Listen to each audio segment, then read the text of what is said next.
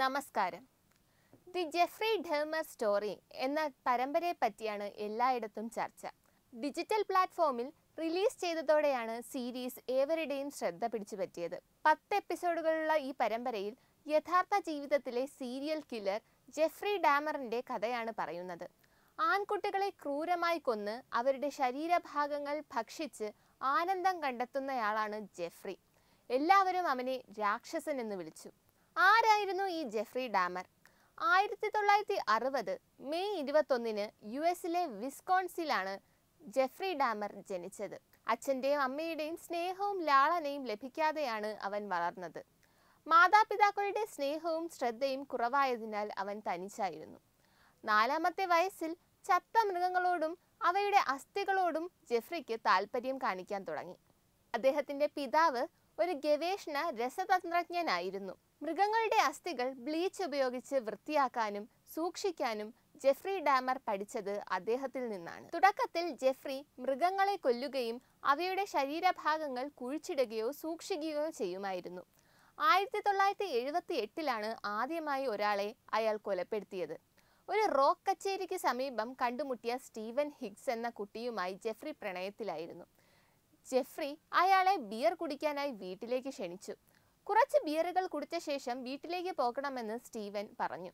പക്ഷെ ജെഫ്രി സമ്മതിച്ചില്ല. തുടർന്ന് നാല് പോയിന്റ് അഞ്ച് കിലോ തൂക്കമുള്ള ഡമ്പൽ ഉപയോഗിച്ച് തലക്കടിച്ച് കൊലപ്പെടുത്തി. കുട്ടിയുടെ മരണശേഷം ജെഫ്രി തന്റെ വസ്ത്രങ്ങൾ അഴിച്ചു മാറ്റി മൃതദേഹത്തിൽ നിന്നുകൊണ്ട് സ്വയംഭോഗം ചെയ്തു. ഇതിനുശേഷം സ്റ്റീവന്റെ മൃതദേഹം കഷ്ണങ്ങളാക്കി ചവറ്റുകുട്ടയിൽ സൂക്ഷിച്ചു. ആയിരത്തി തൊള്ളായിരത്തി എഴുപത്തി എട്ട് മുതൽ ആയിരത്തി തൊള്ളായിരത്തി തൊണ്ണൂറ്റി ഒന്ന് വരെ പതിനേഴ് സ്വവർഗാനുരാഗികളെയാണ് ജെഫ്രി ഡാമർ കൊലപ്പെടുത്തിയത്. അവരിൽ ചിലർ പതിനാല് വയസ്സ് മാത്രം പ്രായമുള്ളവരായിരുന്നു. ആളുകളെ കൊലപ്പെടുത്തിയ ശേഷം അവരുടെ അടയാളങ്ങളും അദ്ദേഹം ശേഖരിക്കാറുണ്ടായിരുന്നു. കറുപ്പ് ഏഷ്യൻ ലാറ്റിൻ പുരുഷന്മാരെയാണ് ഇയാൾ തന്റെ ഇരകളാക്കിയിരുന്നത് എന്ന് പറയപ്പെടുന്നു. സ്വവർഗാനുരാഗ ബാറുകൾ മാളുകൾ ബസ് സ്റ്റോപ്പുകൾ എന്നിവിടങ്ങളിൽ നിന്ന് ജെഫ്രി ഇരകളെ തിരഞ്ഞെടുത്തു. പണമോ ലൈംഗികതയോ മോഹിച്ച് അവരെ വീട്ടിൽ കൊണ്ടുവന്ന് മദ്യം കുടിപ്പിച്ച് മയക്കുമരുന്ന് നൽകി കൊലപ്പെടുത്തുക പതിവായിരുന്നു.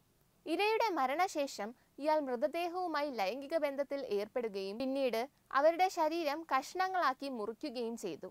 തന്റെ ഇരയുടെ ഏതെങ്കിലും ശരീരഭാഗം അവൻ ഓർമ്മയായി സൂക്ഷിക്കാറുണ്ടായിരുന്നു.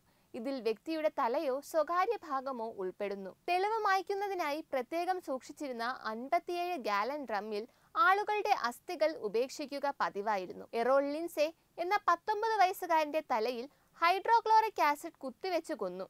പിന്നാലെ ശരീരഭാഗങ്ങളും ഭക്ഷിച്ചു. ഇയാൾ മൂന്ന് പേരെ ലൈംഗികമായി പീഡിപ്പിച്ചിരുന്നു. ഇതിൽ രണ്ടെണ്ണം പട്ടാളത്തിലായിരുന്നപ്പോൾ സംഭവിച്ചതാണ്. മൂന്നാമത്തെയാൾ ഇരയുടെ സഹോദരനായിരുന്നു. കൊലപാതകം നടക്കുമ്പോൾ ജെഫ്രി ഡാമർ തന്റെ ഇരകളുടെ ഫോട്ടോ എടുക്കാറുണ്ടായിരുന്നു. ഈ ഫോട്ടോകൾ കൂടുതലും അയാളുടെ ഡ്രസ്സിംഗ് ടേബിളിലും ഫ്രീസറിലും സൂക്ഷിച്ചിരുന്നു.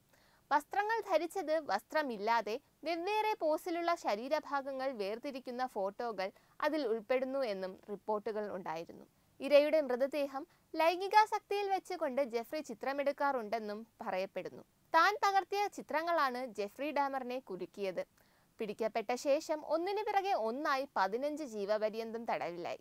തൊള്ളായിരത്തി നാൽപ്പത്തി ഒന്ന് വർഷം ജയിലിൽ കഴിയണമെന്നർത്ഥം. എന്നാൽ കൊളംബിയ കറക്ഷണൽ ഹോസ്പിറ്റലിൽ മൂന്ന് വർഷവും നാല് മാസവും മാത്രമേ അയാൾ കഴിഞ്ഞുള്ളൂ.